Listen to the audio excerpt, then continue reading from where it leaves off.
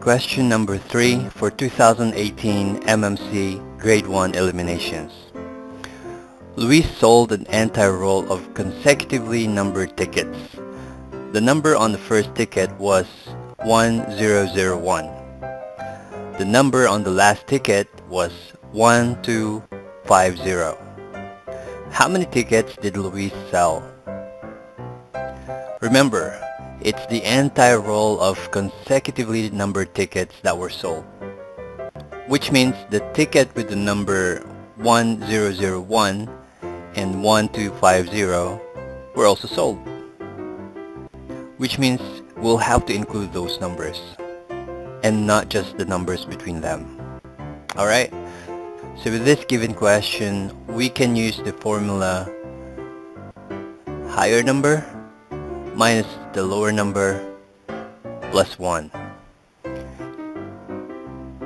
And if we apply this formula, we'll get 1250 or 1250 which is the last ticket was sold minus 1001 which is the first ticket was sold plus 1 and we'll get 250 so there were 250 tickets were sold by Luis.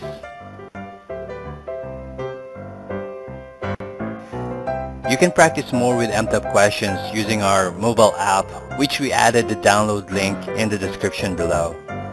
If you find this video helpful, please give us a thumbs up and if you have questions, just add your comment down below and for more video tips, just click on subscribe.